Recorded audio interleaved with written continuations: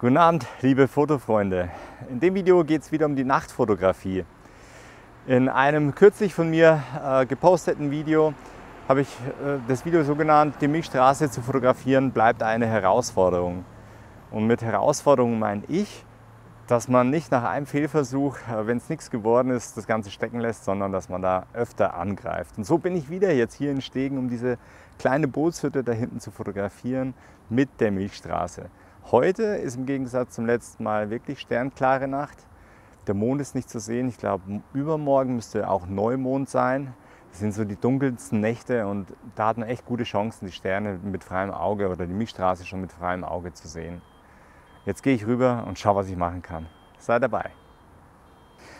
Ja, und diese Hütte reizt mich eben auch so sehr, weil sie sehr, sehr einfach zu fotografieren geht in der Nacht. Sie wird nämlich von der Straßenlaterne hier 10 Meter weiter direkt angeleuchtet Somit hat man es auch echt easy, die Kamera schön auszurichten und die Hütte anzufokussieren. Also das ist echt einfach. Die Milchstraße erscheint jetzt auch schon links neben der Hütte. Die ist jetzt noch so eine halbe Stunde lang zu sehen.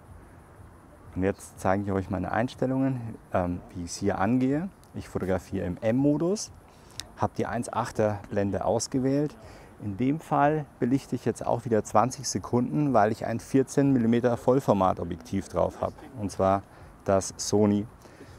Und als ISO-Wert habe ich jetzt schon mal geguckt, komme ich mit ISO 800 sehr, sehr gut hin, weil es hier einfach viel Umgebungslicht gibt. In der Belichtungsanzeige steht minus 0,7, aber das reicht völlig aus. Und jetzt mache ich noch äh, die Auslöseverzögerung an, dass nach dem Draufdrücken die Kamera zwei Sekunden später das Foto macht. Und schon habe ich mal ein Bild hier im Kasten bei sternenklarer Nacht und das wird bestimmt gut. Das mache ich jetzt schnell ausgerichtet ist sie. Ich achte einfach darauf, dass ich genau mittig auf dem Steg stehe, dass die Hütte auch mittig zu sehen ist in dem Bild. Aber im unteren Drittel und die Milchstraße geht wirklich komplett durch die Hütte durch. Also die erscheint jetzt direkt drüber. Das sieht echt geil aus. Ich darf mir jetzt hier gerade auch nicht bewegen und rumhampeln, sonst wackelt das Stativ und will das Bild äh, unscharf. Ich beeile mich jetzt auch, weil hier am Ufer stehen auch noch zwei andere Fotografen, die auch auf den Steg wollen. Bam, würde ich sagen. Bam. Okay, schnell einen Bildcheck nochmal. Das Wasser ist geglättet durch diese 20 Sekunden Belichtungszeit und die Hütte ist angeleuchtet von der Laterne. Sieht super gut aus. Jetzt geht es weiter zum nächsten Spot und der hat nichts mit Wasser zu tun. Bleibt dabei. So Freunde, ich bin jetzt hier an der zweiten Location angekommen. Ich habe jetzt so circa zwei Kilometer Fußmarsch hinter mir. Ich habe nämlich an der Klinik in Höhenried am Starnberger See geparkt und bin diese zwei Kilometer Waldweg einfach mal reingelaufen und stehe am Monopteros. Dann zeige ich euch jetzt erstmal, wie der hier aussieht und dann sage ich euch, warum ich überhaupt da bin. Dann stellt sich echt die Frage, wie gehe ich es denn an, um den Himmel hier mit aufs Bild zu kriegen, weil im Hintergrund ist wirklich Wald zu sehen. Ich müsste dann tatsächlich auch wieder von ganz unten, denke ich mir zumindest, nach oben shooten und das probiere ich aus. Dafür werde ich mein Stativ auch ziemlich bodennah aufstellen. Was anderes bleibt mir nicht übrig, weil aus der Hand fotografieren kann ich nicht. Ich muss ultra lang belichten, weil wenn ich hier dieses Videolicht ausmache, dann ist es hier wirklich stock, stock dunkel. Und da muss man sehen, ob man überhaupt was von der Statue hier sieht. Und auch auf der Kamera habe ich wieder meinen 14 mm Sony mit der 1.8er Blende und versuche das jetzt mal so umzusetzen.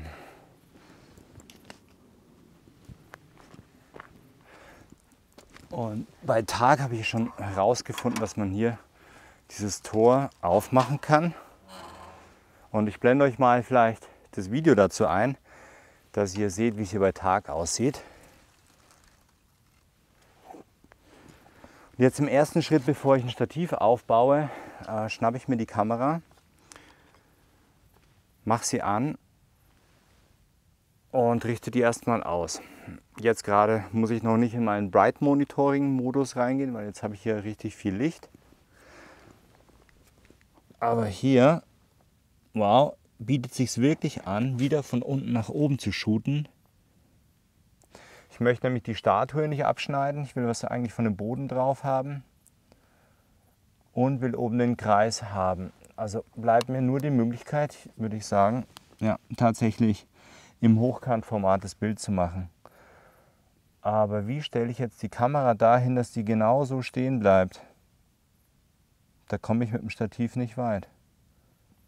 Ich müsste wirklich so fotografieren und die irgendwie so stabilisieren. Oh, blöd, blöd.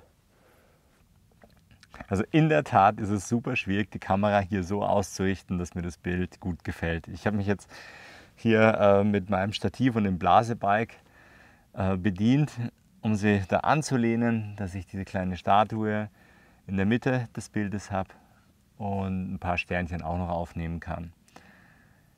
Ich habe jetzt schon mal einen Testshot gemacht auf 20 Sekunden auf einer 1,8er Blende und habe festgestellt, dass es hier so dunkel ist, dass man hier nichts von diesem schön eingewachsenen Rondell da oben sieht, von dem Monopterus. Hm, was ich jetzt machen könnte, wäre halt länger belichten, eine Minute lang, da wäre hier alles schön ausgeleuchtet, aber dann sind die Sterne da oben wirklich komplett als Striche zu sehen und das gefällt mir nicht. Ich will die Sterne als Punkte darstellen und ich kann da nicht länger als 20 Sekunden lang belichten. Und ich habe jetzt auch ausprobiert, mal die ISO auf ISO 4000 oder irgendwie 5000 hochzudrehen. Das bringt auch kaum was, weil das Bild nicht wirklich heller wird. So werde ich jetzt folgendes ausprobieren, das Bild 20 Sekunden lang machen und mit der Stirnlampe hier eine Sekunde oder nicht mal eine Sekunde hier diesen Monopterus von innen anleuchten. Das ist die einzige Chance, die ich hier sehe, um hier ein einigermaßen vernünftiges Bild hinzukriegen. Das ist jetzt zwar kein richtiges Nachtfotografiebild, aber nein, wenn man nichts auf dem Foto sieht, ist es halt auch beschissen. Ah. Also, die Idee war gut, die Umsetzung echt schwer. Aber ich probiere es jetzt trotzdem mal. Ich mache dafür jetzt hier das Videolicht aus, um hier die Aktion zu starten. Und als Testshot lasse ich jetzt das Videolicht einmal an, dass ihr seht, wie ich mit der Taschenlampe oder Stirnlampe das ganze Ding anleuchte. Und beim zweiten Bild muss ich dann die Videoleuchte natürlich ausmachen, weil ich will hier nicht diese Schatten von der Kamera hier auf dem Bild haben. Also, zwei Sekunden Auslöseverzögerung ist drin. Jetzt macht die Kamera das Bild, 20 Sekunden lang. Und jetzt belichte ich hier einfach ganz kurz nur, zack, und das war's schon. Also ganz, ganz kurz. Ich leuchte jetzt hier auch nicht in ein Bild hin und her, sonst wird es mir auch noch zu hell. Aber so meist jetzt, ohne Videolicht.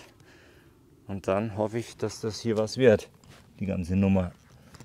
So, mal hier die Kamera schön anlehnen. Videolicht ausmachen.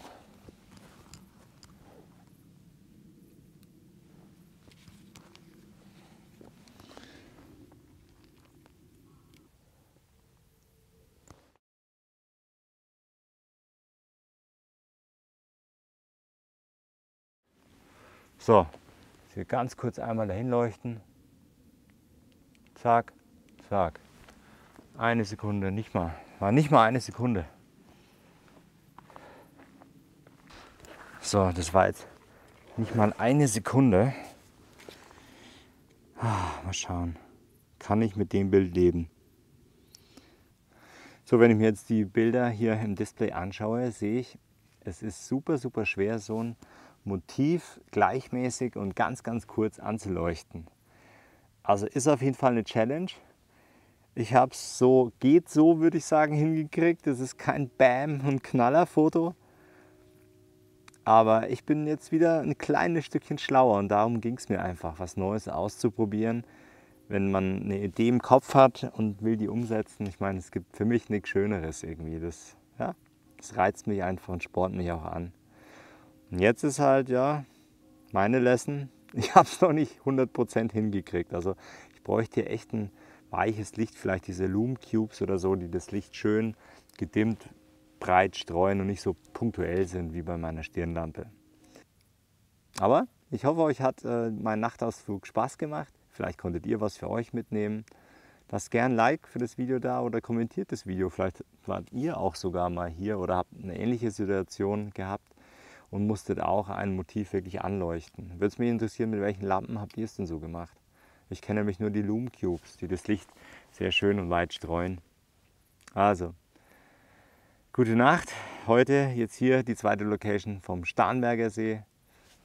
Euer Sigi. Bis zum nächsten Video.